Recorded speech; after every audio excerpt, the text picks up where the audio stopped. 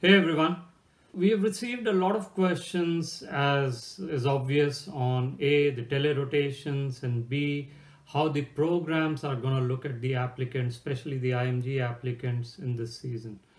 Uh, should I do telerotations? Is it actually useful? What can I learn from these telerotations? And then, obviously, how the interview season will pan out, uh, what specific skills over and above say in the previous seasons will the programs be looking for as they evaluate your applications and they invite you for the interviews? I had the opportunity to interview dr cedric coleman and uh, dr tabitha watts. Uh, dr coleman is with rush university and dr watts is with cook county hospital. So we discussed a wide range of issues from from telerotations to the future of telehealth and rotations and then what will the programs look for in the coming seasons and how should IMGs, uh, students like you, prepare yourself as you work on your applications, as you uh, do these rotations and prepare for the season in general. So take a listen and let us know if you need any additional help or information and we'll be able to help you with that. Good luck for the season.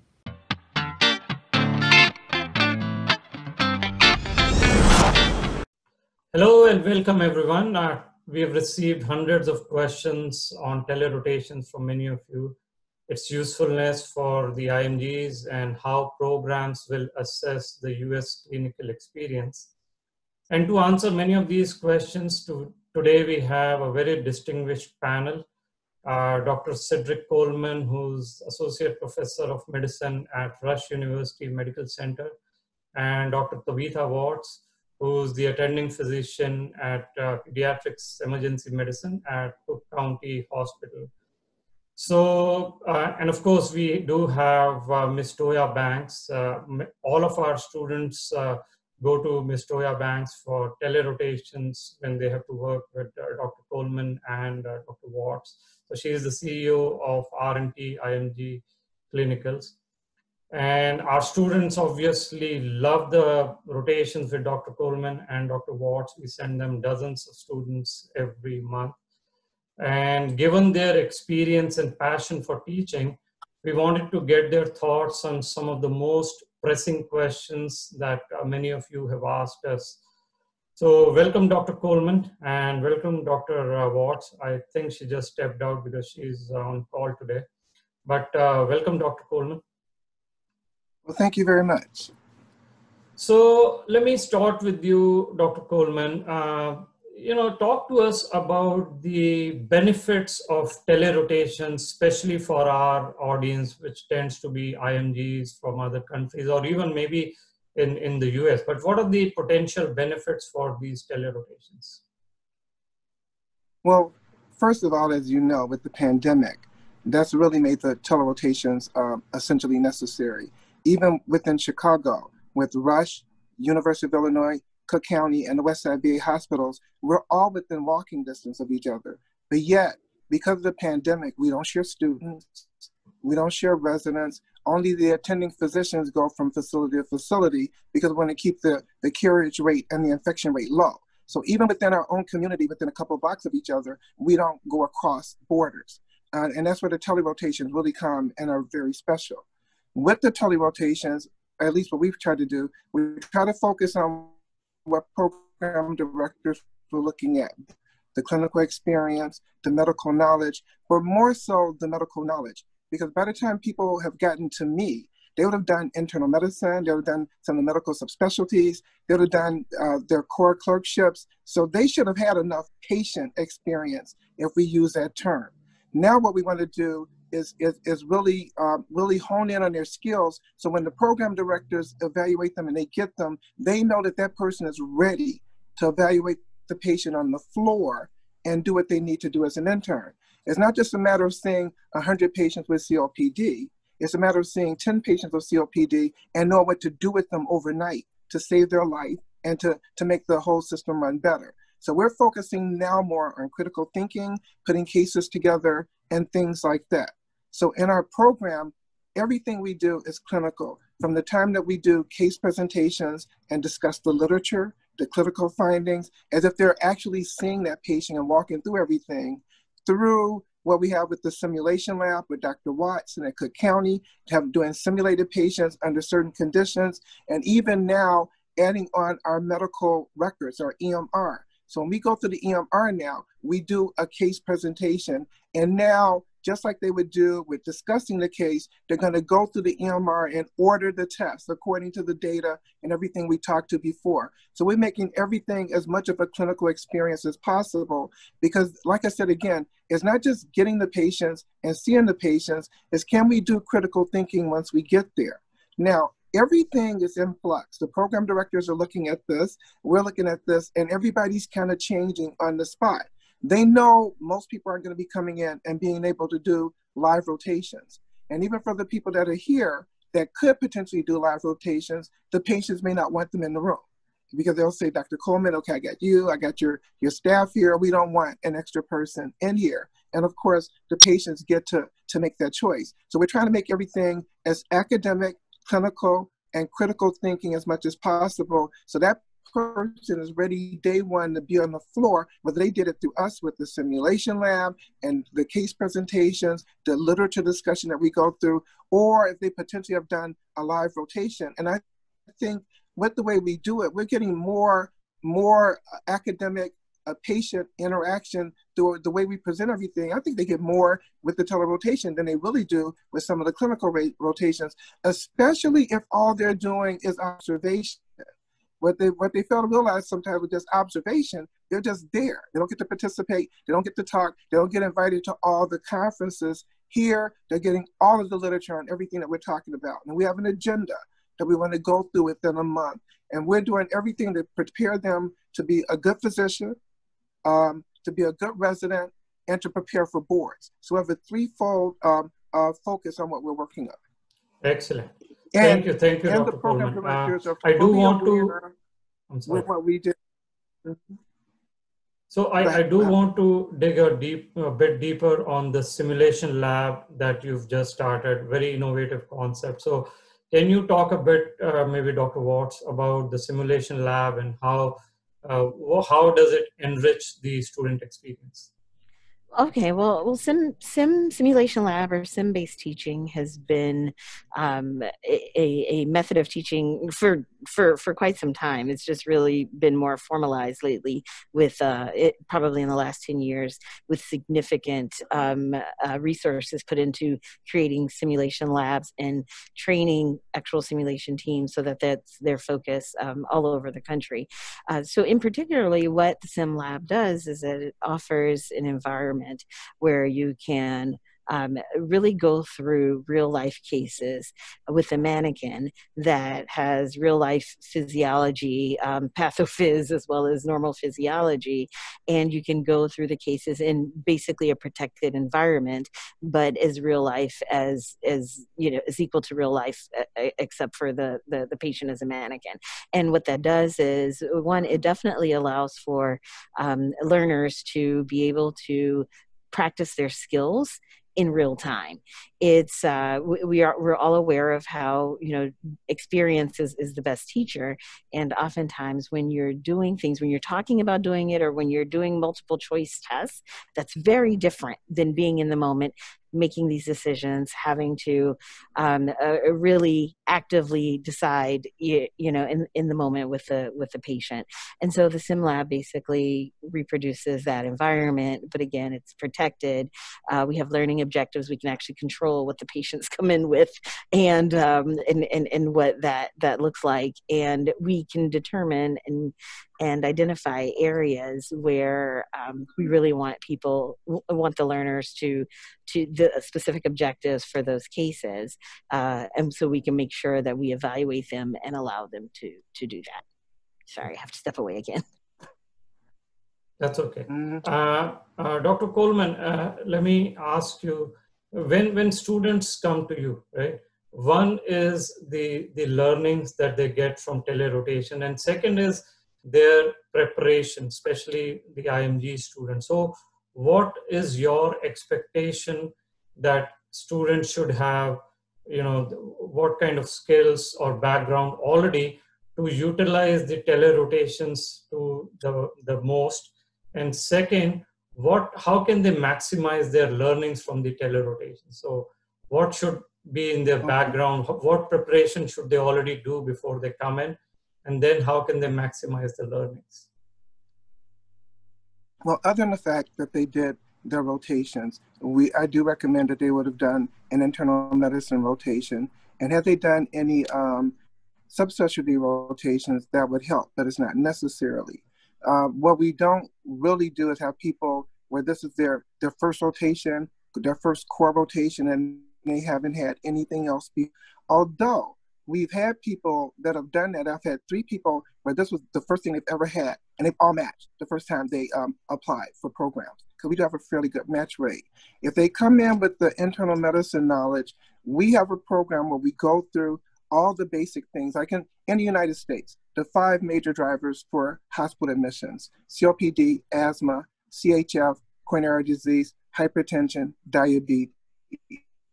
We put a big focus and take them through that on not only just knowing the clinical process, knowing where the data came from to make the decisions, because they'll talk about protocols. So we go through where the data came from to make those protocols. So we can make changes in the future and we could do critical thinking in between the line on the patients with the protocol.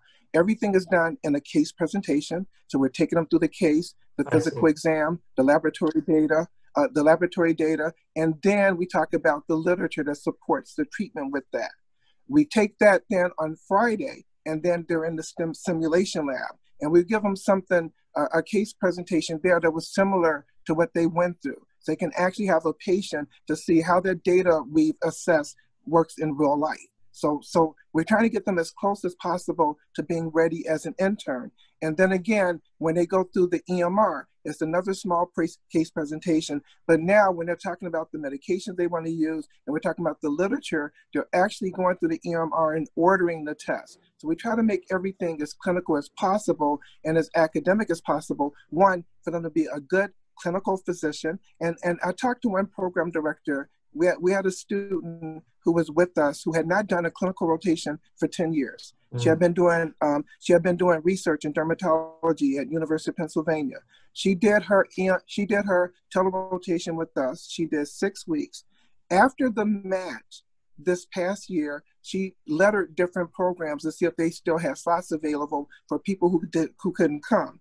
She ended up uh, talking to the program director at Florida International there they liked everything about her, but they were concerned about the, the lack of clinical preparation over the last 10 years.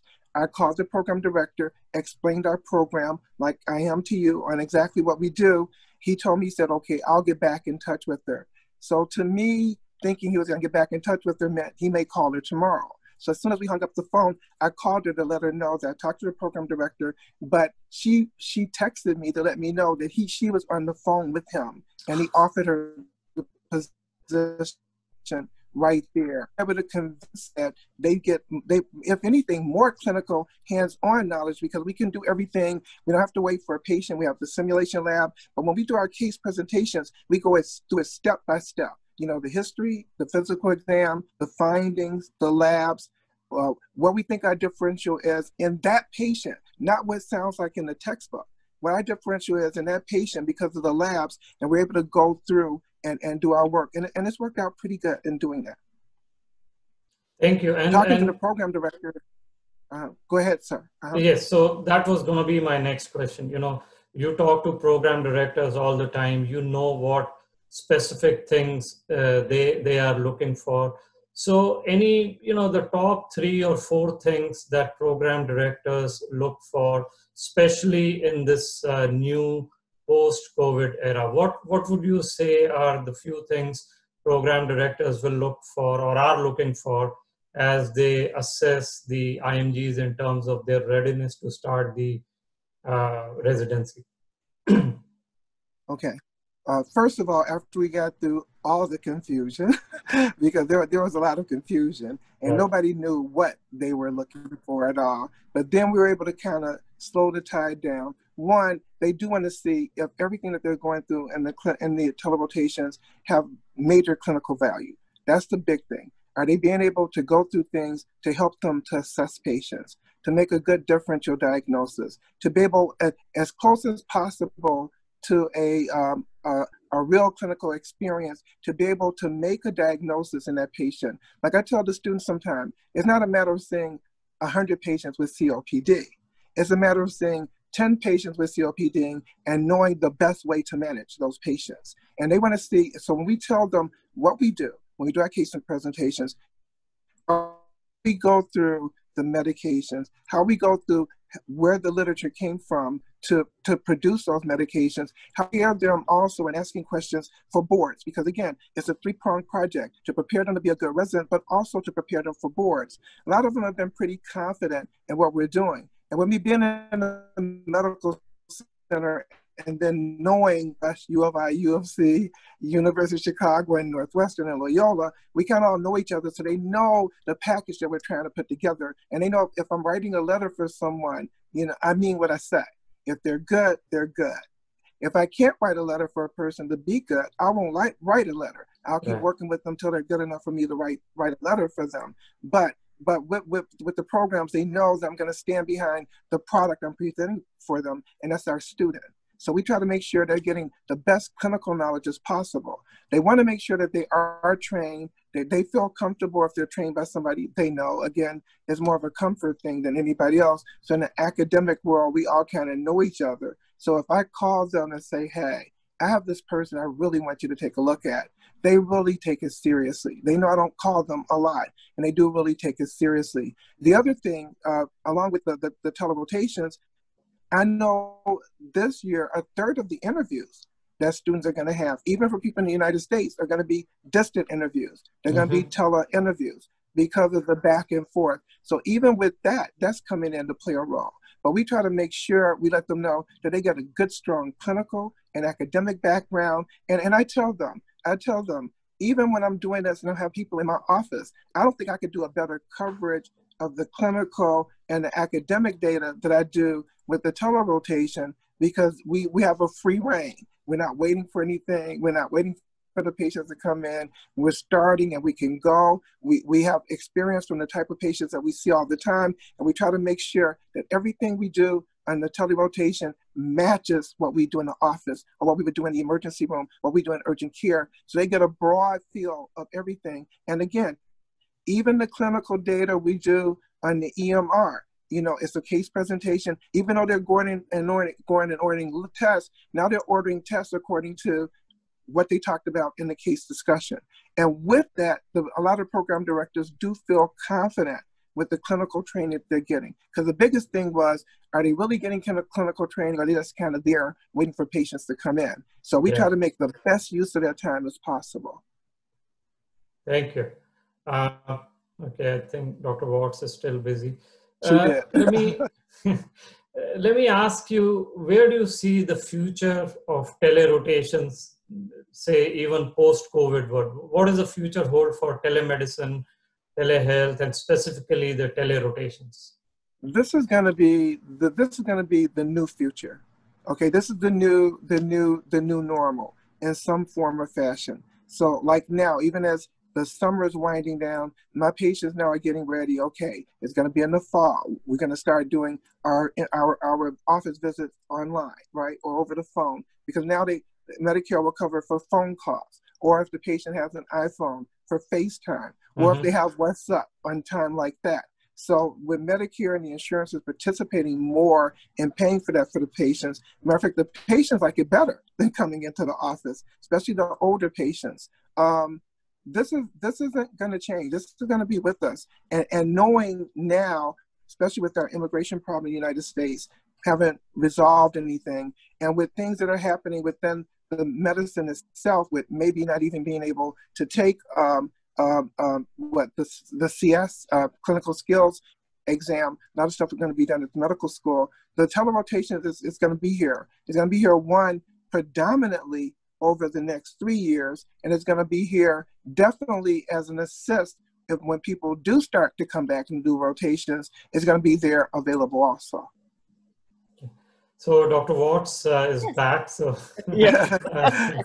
uh, Dr. Watts, uh, I, I, know you're quite busy. So at this point, but, but, let me ask you the same similar questions I asked Dr. Coleman in terms of, uh, you know, you interview students, you've seen all the IMGs and you see what programs are looking for in the IMGs when it comes to the US clinical experience, telerotations. So give us some insights into what you think in the coming season or seasons program directors will focus on uh, when it comes to the foreign medical graduates in terms of their skills, experience, education? So, uh, so, so because of the the um, pandemic, and, and Dr. Coleman may have touched on this, um, I know for sure at our institution, all of our uh, all of our interviews are virtual.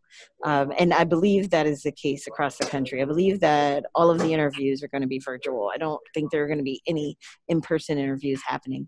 And because of that, one of the the main uh, the, so the things that we usually glean from an interview, right? We're trying to get to know, uh, get a sense of the, the the the candidate, to get a sense of their, you know, of course, um, presentation skills. So how they present themselves, what their personality is, if they are someone that we want to work with with basically. So the same sort of focus i mean i do think that you know of course the the the applicant's profile is going to be looked at uh, for sure, right? So definitely the personal statement is going to be one of the, it's always, and it, now it's going to even have to carry an even heavier load, mm-hmm. um, is, is going to be one of the main things that we look like, look at. We want, you know, we want to get a sense of the candidate from the personal statement. And then in the interview, which we also is where is going to be virtual, that is something we're going to have to garner um, uh, basically from, from from those main aspects. So that's going to be one of the one of the biggest things. We would rely pretty heavily on the interaction of the candidate as they uh, present themselves at the actual interview but we recognize now that's we're, we're going to have to tune up our assessment skills from a virtual standpoint apparently. Uh, so that's going to be one of the big biggest things. And and and with that is again going to be the candidate's ability to present themselves. So communication is going to be key right? Their ability to communicate uh, why they want to be at this program why why they want this particular discipline basically things that they should be able to communicate um, regardless of how they what rotations or how they have rotated in an environment and that's one way where i believe that telerotations actually help in addition because mm-hmm. often the students are very comfortable with thinking that you know they know um, a case or they know how to manage but you should be able to walk and talk through a case and how you would approach the patient because that is also what you're doing as a senior resident as an attending right? You're getting phone calls from from mm. residents who are your eyes and ears in the hospital asking for guidance or agreement on the patients that they're seeing. So they should be able to demonstrate those skills and those are skills that they are honing. In addition to of course the the clinical knowledge base they're honing that oral um, uh, the, you know the the communication skills that that that is needed. Okay.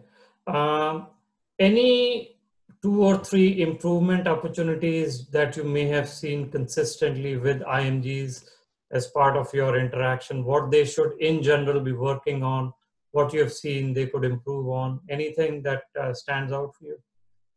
Um, again honestly communication is is a big part um, and and honestly confidence in their in their medical skills mm-hmm. i think um, because the application culture may be very different in terms of uh, it being a lot more objective um, from where they are in, in the manner that they have been trained, where there's a lot more objectivity and subjectivity, um, a lot more subjectivity that's involved um, from the U.S. training side. Uh, they need to be confident in in in in their clinical skills and from that they can communicate this is what i would do this is what i'm thinking um, so i have found that they have gained a lot more confidence and understanding and and and their ability to um, kind of integrate all of the information that they have from doing telerotations previously it was I read a case, I take a test. If the test says that I've got 90%, then I know what I'm doing. Now it's I read a case, whether or not I take a test or I get a test from from Dr. Watts or Dr. Coleman. I read the uh, read the uh, the literature, and then I walk through the actual case, um, whether it's us talking directly presenting cases or whether it's in the sim lab. So I feel like it is very much a more integrated and holistic approach to patient care that they're receiving with with the telerotations. Excellent, excellent. Uh, all right, I think we are coming at the top of our uh, interview time, but I do want to bring in uh, Ms. Toya Banks, if, if you're still there, uh, uh, Ms. Banks. Uh, are you on mute? I think she's she's muted. I'm here. I'm sorry. Yeah, yes, so I'm here. uh, you know this was this was great, and uh, any advice, any thoughts that you may have for students uh, who may be interested in telerotations, anything that you may want to say? the only thing that I could think to say is telerotations, telehealth, telemedicine is the way of the future. And I believe if you're coming in now on the end of telerotation, you're you're actually ahead of the game. This is what is going to look like in the future. Everybody wants think that hands-on being there and is more important. This is a learning curve. To me, you get more knowledge, you get more uh, clinical information on the patient than so many people together trying to learn about one patient when you're one on one with your doctor or your preceptor doing telerotation. So I believe this is a big benefit and it will only make your CV shine brighter. Yeah. Oh, thank you. Thank you very much, uh, uh, Ms. Banks. So I appreciate the time, Dr. Coleman, uh, Dr. Watts. Uh, I hope we can do more of these interviews to help the IMGs. Great. And I, again, appreciate your time. Thank you for sharing your perspective with us. And uh, uh, hopefully you have a good day. I know you're very busy you. running around. but Sorry, yes, sorry. Yeah. Thank you so Thank much. you. Thank you very Thank you. Thank you. I appreciate it.